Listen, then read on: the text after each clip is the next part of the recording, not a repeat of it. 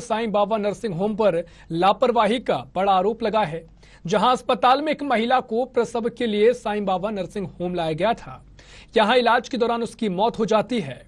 मृतक महिला डीडी नगर इलाके की रहने वाली थी जिसे इलाज के लिए अस्पताल लाया गया था। ऐसे में अब महिला के परिजनों ने अस्पताल के डॉक्टरों पर लापरवाही का आरोप लगाया है। मृतक महिला के जेठ रविशंकर चौरसिया का सीधा आरोप है कि अस्पताल की लापरवाही के चलते जच्चा और बच्चा दोनों की जान चली गई है। परिजनों की माने तो महिला को डिलीवरी के लिए 20 नवंबर को समय दिया गया था, जिसके बाद महिला को अस्पताल लाया गया। जहाँ उसका इलाज शुरू हुआ और बिना डॉक्टरों के निर्देश की नर्स ने महिला को इंजेक्शन लगा दिया। ऐसा आरोप लगाया गया है जिसके कुछ देर बाद ही महिला के मुँह से झाग निकल आया और उसकी दुखद मौत हो गई। छत्तीसगढ़ के रायपुर से आपको है पूरा मामला बता रहे हैं जहाँ प्रसव के दौरान महिला की मौत का मामला एक घटना ऐसे हुई कि हमारी बहू रूटीनली चेकअप पे यहाँ आती थी। यहाँ शुरू से चेकअप करा रही हैं। इन्होंने कल की टाइमिंग दिया था कि डिलीवरी के लिए। कल आए कल आने के बाद ये क्या बोले कि पेट में ब्लीडिंग वगैरह कुछ ऐसे हो रही है, इसको सिजेरियन ही करना पड़ेगा। पर ठीक है सिजेरियन कर दीजिए। इन्होंने एडमिट कर लिया। बोला कि कल सवेरे सिजेरियन होगा।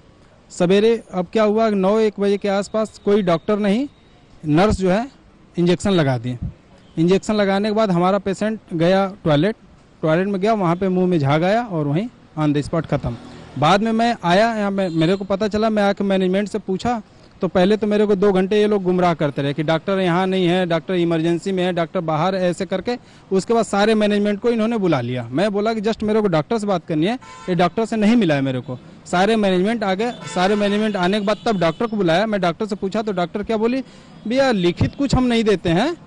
पेशेंट, इसको जो भी अपना वो क्या होते हैं, नर्स नर्स को हम लिखित नहीं देते हैं। रूटीनली चेकअप के हिसाब से वो इंजेक्शन लगाती हैं। जैसे सीजेरियन होना तो इंजेक्शन लगा मैं कहा, ठीक है, कोई बात नहीं। अब लगाती है इंजेक्शन तो क्या क्या इंजेक्शन लगाई होंगी? तो बोली कि वो दो इंजेक्शन जो नॉर्मली लगता वो। मैं फिर नर्स से अकेले में गया, अकेले में बात किया तो वो बोली, सर, मैं चार इंजेक्शन लगाई थी। नर्स से बात की, फिर मैं डॉक्टर से बोला कि, मैडम, वो तो बोल रही चार इंजेक्शन। और अगर आपने इंजेक्शन बोला है तो लिखित उखित है कुछ? कहीं नहीं लिखित नहीं है कुछ। मैं फ़ोन से उनको बोली थी, ऐसा करके। फिर मैं बोला कि, आप नर्स को बुलाइए। नर्स आई तो नर्स बताई तो डॉक्टर का क्या रिएक्शन था? अच्छा वो भी लगा दी थी। एक्स्ट्रा जो तीसरा चौथा इंजेक्शन वो भी लगा दी थी। तो बोली हाँ। हाँ वो लगता है, ऐसा कुछ नहीं। तो हम कहे, लो, आपको तो पता भी नहीं कि लगा दी थी। इसका मतलब कि आपकी देख रेख में नहीं हो रहा है। सब तो नर्सों के हिसाब से हो रहा है। फिर आपका ज़रूरत नहीं है यहाँ पे, अगर ऐसा हो रहा है तो। और दूसरी बात है, अगर आपने इंजेक्शन लगाया तो फिर मेरे पेशेंट की देख रेख कौन किया? हॉस्पिटल में तो इसीलिए रखा जाता है कि हमारा पेशेंट की देख रेख हो, अच्छे से हो, नहीं तो हम घर पे नहीं रख लेते। अब हमारा पेशेंट गया, हम क्या करें? तो सर, अब क्या करें? मैं भी तो सुनी तो आई। हम कहें आप हॉस्पिटल में नहीं थी? तो नहीं। हम दूसरा डॉक्टर था, दूसरा डॉक्टर था। हम कहें, वो क्यों नहीं अटेंड किया? नहीं सर, उस केस को मैं हैंडल कर रही थी तो वो कैसे अटेंड करेगा? ऐसा इन लोगों का था।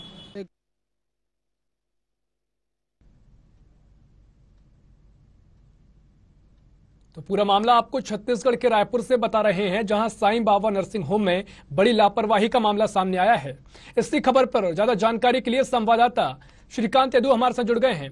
श्रीकांत जी, क्या है पूरा मामला, जहाँ nursing home, Sai Baba nursing home पर कई लापरवाही के आरोप लगे हैं? इसको लेकर क्या पूरी जानकारी मिल पाई है और क्या किस किस तरीके से लापरवाही की गई है? क्या जानकारी है?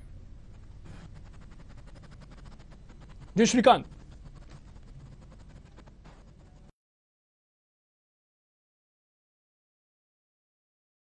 नर्सिंग होम में पूरा मामला है जहाँ पे जहाँ पे जो है उसको इंजेक्शन दिया गया था और इंजेक्शन देने के बाद उनकी तबीयत बिगड़ती चली गई जिसके बाद जब वो बाथरूम जा रही थी तो वही पर ही उनके मुँह से झाग निकलने लगा और जिसके बाद उनकी मृत्यु हो गई जिसके बाद इस पूरी घटना की जानकारी जो है परिजनों को हम्म। ही तो परिजनों ने हॉस्पिटल प्रबंधन से जब इस पूरे मामले में जानकारी चाहिए तो लोग जो हॉस्पिटल प्रबंधन है वो तरह तरह से बात करते रहे और परिजनों का जो आरोप है वो ये है कि डॉक्टर वहाँ पे देख रेख करने के लिए कोई नहीं था। नर्सिंग होम में कोई जो डॉक्टर उनको अटेंड कर रहे थे जो लगातार उस महिला मृतक महिला की जो निगरानी कर रहे थे इतने दिनों से वो लगातार वहीं जाके चेकअप कराती तो वो डॉक्टर भी वहाँ मौजूद नहीं थी और जो नर्स वहाँ थे नर्स जो थे वो उन्होंने वो इंजेक्शन लगाया था और जब ये जानकारी मांगी गई कि भाई आपने कौन सा इंजेक्शन लगाया था कितना इंजेक्शन लगाया गया था तो परिजन जो हमारे साथ जो बातचीत में परिजन बताए हैं तो डॉक्टर ये भी नहीं बता पाए कि वो नर्स को कितना इंजेक्शन लगाने के लिए बोले थे और नर्स ने कितने इंजेक्शन लगाया है। हालाँकि परिजन ये बता रहे हैं जब उन्होंने नर्स से इस संबंध में हम्म। चर्चा की तो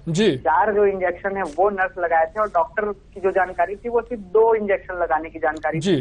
कहीं ना कहीं ये जो अस्पताल प्रबंधन है डॉक्टर और जो ये जो नर्स हैं उनके बीच समन्वय नहीं हो पाया था जिसके हम्म, चलते इतनी बड़ी घटना हुई है और परिजन लगातार ये कह रहे हैं कि भाई अगर यहाँ पे एडमिट किया गया है तो कोई डॉक्टर उनको अटेंड क्यों नहीं किया? और जब इमरजेंसी थी तो किसी डॉक्टर को क्यों नहीं बुलाया गया? तो ये इस तरह से पूरा जो मामला है वो लापरवाही का नज़र आ रहा है और अस्पताल प्रबंधन अभी तक इसमें किसी तरह का कोई उनका जवाब नहीं आया हमने मैनेजमेंट से इस संबंध में जानकारी चाहिए तो उनका कहना था कि अभी इस पूरे मामले पर जो है हम जाँच कर रहे हैं और पुलिस को भी हमने सहयोग करने की बात उन्होंने कही। पुलिस भी वहाँ पे पहुँची हुई थी जिसके बाद जो हंगामा हो रहा था परिजन और डॉक्टरों के बीच में वो शांत हुआ है।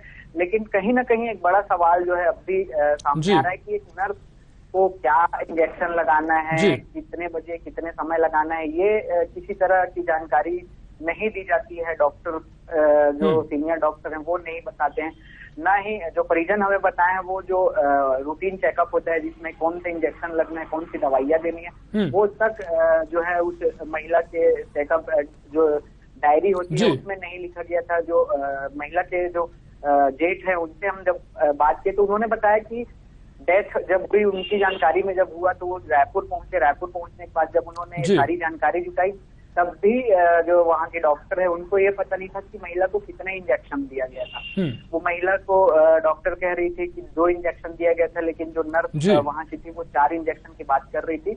और वो भी उसमें ज़िक्र नहीं था कि कौन सा इंजेक्शन लगाना है क्या कुछ। ट्रीटमेंट देना है। तो इस तरह से जो परिजन है वो पूरी तरह से डॉक्टरों पर लापरवाही का आरोप हम्म। लगा रहे हैं और उन्होंने भी पूरे मामले में जाँच की मांग की है। हालाँकि हंगामा होता हो रहा था उस समय पुलिस ने यहाँ के दोनों पक्षों को समझाया और जो भी आगे की कार्रवाई है वो करने की बात हॉस्पिटल प्रबंधन भी कर रहा है। लेकिन मीडिया के सामने आके हॉस्पिटल प्रबंधन ने किसी तरह का कोई भी बयान नहीं दिया है।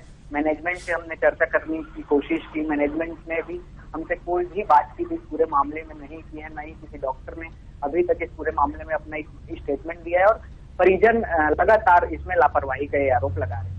जी। जी बिल्कुल श्रीकांत ऐसे में मामला बहुत गंभीर इसलिए और हो जाता है कि मामले में लापरवाही की गई है और जच्चा और बच्चा दोनों की मौत हो गई है। ऐसे में जब दोनों की मौत हुई है तो प्रशासन, जो अस्पताल प्रशासन है, उसने इस मामले को लेकर कोई कमेटी गठित की है या इस पूरे मामले को लेकर, क्योंकि हमने इससे पहले पूरे बयान सुनाए जो परिजन थे, उनका कहना है कि सीधे तौर पर लापरवाही की गई है। समय पर प्रसव नहीं कराया गया। जो समय दिया गया था प्रसव के लिए, उसके बाद ही प्रसव कराया गया। और डॉक्टर उस दौरान मौजूद नहीं थे। तो इस पूरे मामले को लेकर प्रशासनिक रूप से क्या कुछ कार्रवाई की जाएगी डॉक्टर की लापरवाही को लेकर? क्योंकि बयान तो सामने आए हैं परिजनों के इसको लेकर क्या संज्ञान में लिया जाएगा?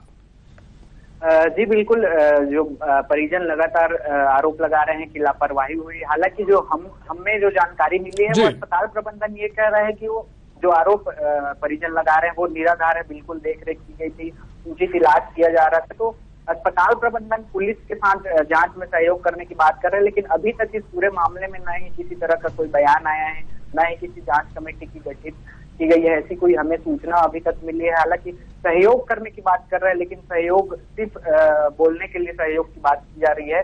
और इसमें चाहती तो अस्पताल प्रबंधन जाँच करवा सकती थी कि किसकी लापरवाही है लेकिन अस्पताल प्रबंधन ने अभी तक जो हमें जानकारी है वो किसी कमेटी का कोई गठन नहीं किया है न ही आगे इस मामले में किसी तरह की जाँच की कोई बात इसमें सामने आ रही है। जी श्रीकांत ऐसे में इस पूरे मामले को लेकर कई सवाल हैं जो खड़े होते हैं। उनके जवाब आपसे आगे जानने की कोशिश करेंगे। लेकिन इससे पहले अगर देखा जाए, जिससे अस्पताल का यह पूरा मामला है, इसके पहले अस्पताल की क्या कुछ स्थिति रही है, क्या पहले भी ऐसे कई आरोप लगे हैं, इसको लेकर क्या कुछ स्पष्ट हुआ है? क्योंकि जानना ज़रूरी है, आखिर ऐसा मामला जो लापरवाही हुई है, जच्चा और बच्चा की मौत हुई है, आखिर क्या वजह रही इसकी? जी, ये राजधानी रायपुर का एक बड़ा चर्चित बड़ा चर्चित नर्सिंग होम है साईं बाबा नर्सिंग होम इससे पहले इस तरह की जो घटनाएँ हैं वो तो सामने नहीं आई हैं हॉस्पिटल के खिलाफ लेकिन कहीं ना कहीं जो हमने आज वहाँ पहुँचे थे वहाँ की जो स्थिति हमने देखी लोगों से हमने जो है चर्चा की ऑफ़ द रिकॉर्ड जो हमें लोग बता रहे थे वो कह रहे थे कि हॉस्पिटल में किसी तरह से उचित देख रेख जो है वो नहीं होती है। नर्स जो रहते हैं वो अपने मन मर्ज़ी से ही काम करते हैं। सीनियर डॉक्टर कभी कभी कभार आके देखते हैं और एक आध बार आते हैं निरीक्षण करते हैं और इंस्ट्रक्शन देके चले जाते हैं। बाकी हम्म। जो पूरा जो देख रेख है वो नर्स के भरोसे रहता है। तो ये एक बड़ी लापरवाही क्योंकि अगर वहाँ पे प्रसव के लिए महिलाएँ जाती हैं और जच्चा और बच्चा दोनों की देखभाल की इसमें बेहद ज़रूरी होता है। तो ऐसे में जो है डॉक्टरों को बड़े जो सीनियर डॉक्टर है वहाँ समय समय पर जाना चाहिए मरीजों से मिलना चाहिए उनका हाल चाल जानना चाहिए और जो इलाज है उसको हम्म। बेहतर करनी चाहिए। बीच बीच में जो नर्स हैं उनको भी इंस्ट्रक्शन देना चाहिए कि किस मरीज़ को कौन सी दवाई देनी है क्या कुछ आप ट्रीट कर रहे हैं कैसे कर रहे हैं। तो ये जो हमें जो जानकारी मिली है उस हॉस्पिटल में बहुत ही कम देखने को मिलता है। ऐसा कुछ परिजन हमें बताया कि बहुत ही कम सीनियर डॉक्टर हैं जो आते हैं देखते हैं। बाकी जो काम है वो सिर्फ़ नर्सिंग स्टाफ के भरोसे ही रहता है। जी श्रीकांत ऐसे में परिजनों ने कई आरोप लगाए हैं।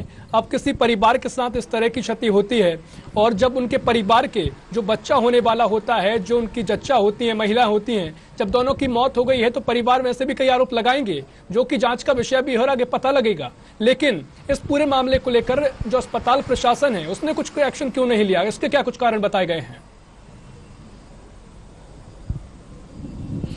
जी देखिए एक बड़ी दुखद जो घटना हुई है परिजनों पर एक दुख का पहाड़ जो है वो टूटा है क्योंकि जच्चा और बच्चा दोनों की मौत हुई है। तो ऐसे में परिजन लापरवाही का लगातार आरोप लगा रहे हैं और हालाँकि इसमें जो हमें जो जानकारी मिल रही है उसमें दोनों ही पक्षों ने कार्रवाई नहीं करने की बात जो है आपस में की है।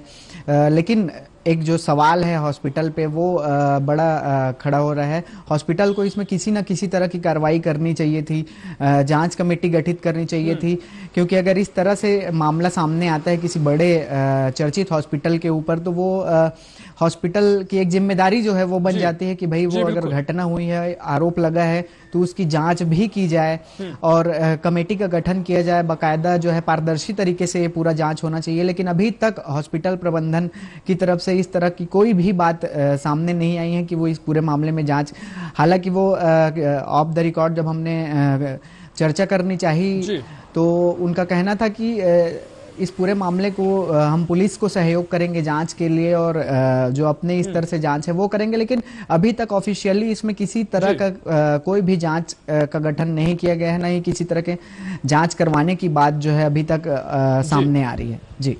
जी, बिल्कुल श्रीकांत, ऐसे में जाँच का विषय भी है और साधना न्यूज़ जन सरोकार के मुद्दे को प्रमुखता से उठा रहा है। ऐसे में देखेंगे आगे क्या कुछ प्रशासन द्वारा कानूनी कार्रवाई की जाती है, इसको लेकर हमारी निगाहें रहेंगी। फ़िलहाल के लिए श्रीकांत, आपका जानकारी साझा करने के लिए बहुत शुक्रिया। तो पूरा मामला आपको छत्तीसगढ़ के रायपुर से बता रहे हैं, जहाँ प्रसव के दौरान लापरवाही का मामला सामने आया है। बता दें कि साईं बाबा नर्सिंग होम से लापरवाही का यह बड़ा मामला सामने आया है।